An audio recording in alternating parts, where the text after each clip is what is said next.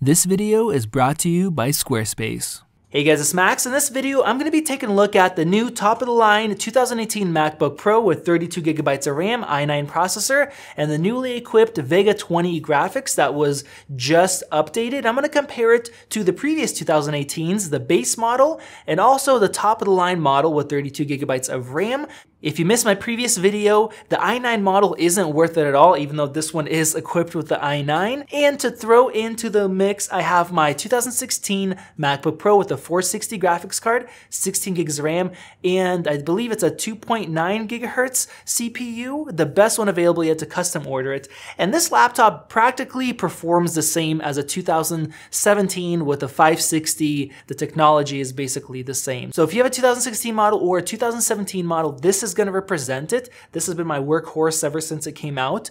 A good laptop, but it definitely has some limitations nowadays with some codecs, which we'll talk about. And I'm also working on a video with Premiere Pro and DaVinci Resolve. Make sure you guys are subscribed and have those notifications enabled. Now, I also want to mention that I'm not really going to cover thermals or benchmarks. Typically in the beginning of these videos, I look at a variety of benchmarks. I actually did that in a separate video where I took a deeper kind of look at that. Uh, some of the benchmarks didn't really change that much and some were really surprising. So after this video is over, you guys can go and check it out. There'll be a link in the video description.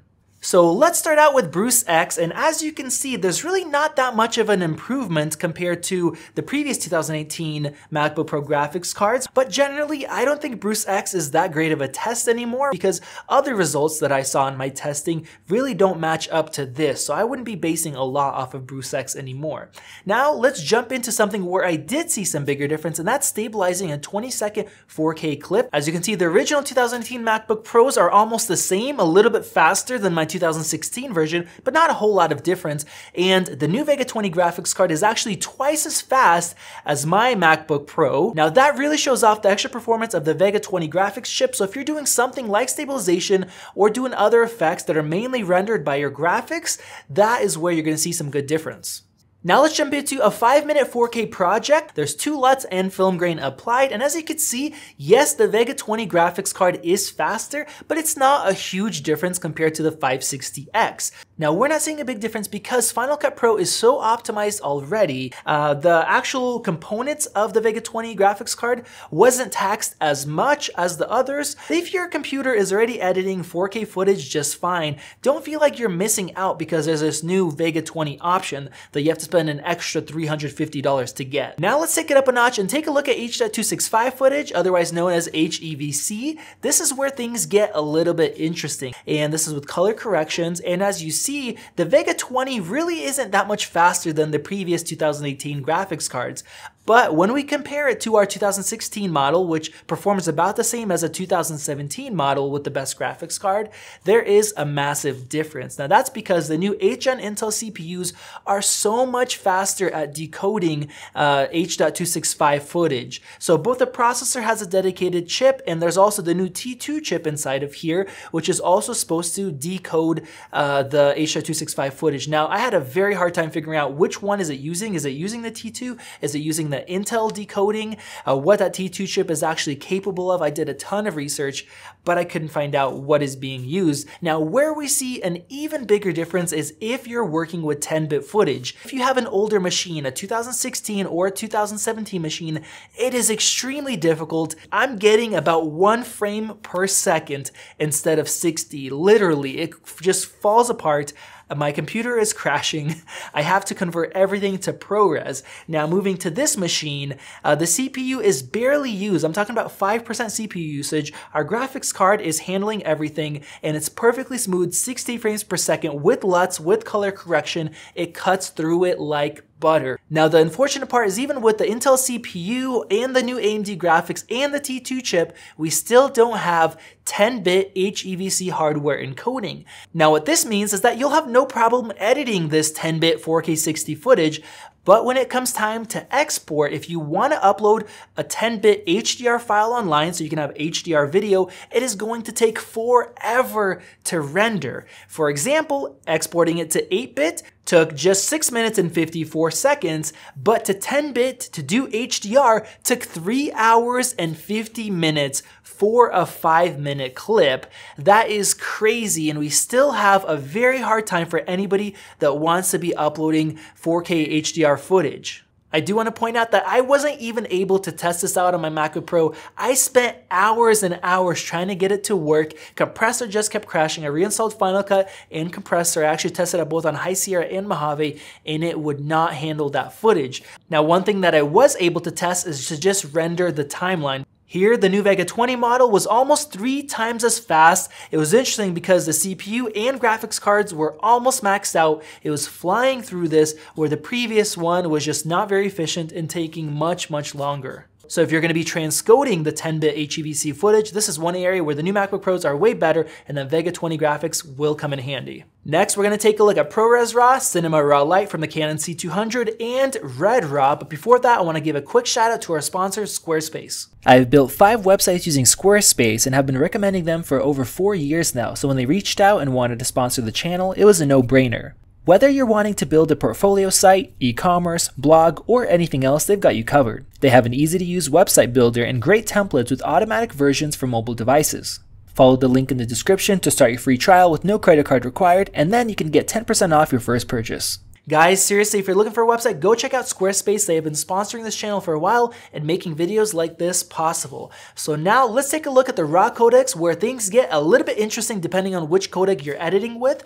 We're gonna start out with ProRes RAW. Exporting our project, we really don't see that great of an improvement over the 560X. All these machines don't have really an issue editing this ProRes RAW footage. It's very, very efficient in Final Cut, and that makes sense because we have this efficient codec and we're exporting to something that's very very easy to encode using QuickSync, so the difference isn't very big. Now, if you are exporting to say ProRes, that's where the difference starts to come in. And then if we compare it to my 2016 model, our performance is almost doubled. And that's because of not only the Vega 20 graphics cards, but of course having a much more powerful CPU as well. Now let's take a look at Canon Cinema Raw Lite, which is not light at all, puts a huge toll on your computer. And this is one area where the Vega 20 graphics card really stands out out and really improves your performance. Now, that might be a good thing for you if you really need the extra performance while being portable, or might not be a good thing if you don't want to spend the extra money on Vega 20. Uh, but let's take a look at some of these results. Exporting our color graded 4K 60 project, the Vega 20 was about 35% faster than the 560X and about 55 to 60% faster than my 2016 MacBook Pro. Now, a 35 to 55% improvement is a big deal, but what matters even more is that with the previous MacBook Pros, you could not edit this footage. Playing back the footage in my timeline, my super expensive, completely maxed out 2016 version and the base model 2018 version only played back at 16 frames per second. So you can't even play that back without stuttering and having issues. Now, the previous i9 model, very expensive that some of you guys bought, would only play back at 20 frames per second, so not a big improvement. This new MacBook Pro with the Vega 20 graphics played back at just over 30 frames per second, sometimes 30, sometimes 32, and that's with a LUT and color correction applied. That actually competes with the previous model and that Blackmagic eGPU kit, which is $700 attached. And if you didn't check out the video, I'll have a card above here, but that was the only reason that I would recommend that external graphics card unit.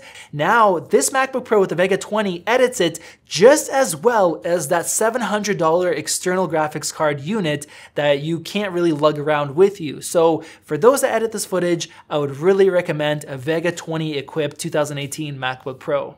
And now for color graded 4.5K red raw footage, as you can see, we have a small improvement with the Vega 20 graphics card, uh, but the difference isn't very big. We do have a bigger improvement over my 2016 model, but that is because the biggest limitation with this footage is not the graphics card, so the Vega 20 can't really help that much. It's more of the CPU. Our 4-core 2016 model is quite a bit slower, but all the 6 cores are very similar. And if you're trying to play back this footage in the timeline or export The CPU just goes to 100% and that's our biggest limitation. So now let's do a roundup and answer the biggest question, is Vega 20 worth it? Well, if you're upgrading from a 2016 or a 2017 model and you really push your machine, you do heavy video editing, if that's how you make a living, then definitely if you can afford it, go for the Vega 20 option.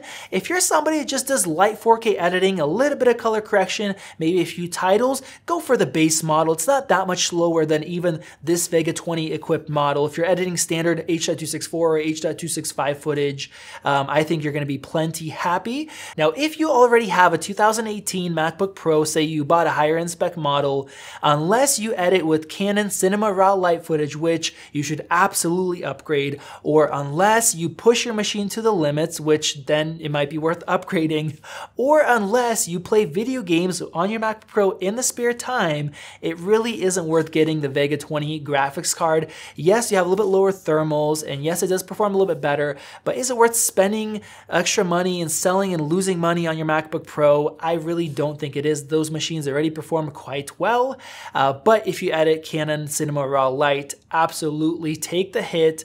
It sucks that Apple didn't warn us ahead of time that they're going to be putting out these graphics cards. That is a big shame, but I really think that the extra performance is worth it. And like I just gave you guys a little sneak peek, uh, if you game on your machine on your off time, there is some massive improvements.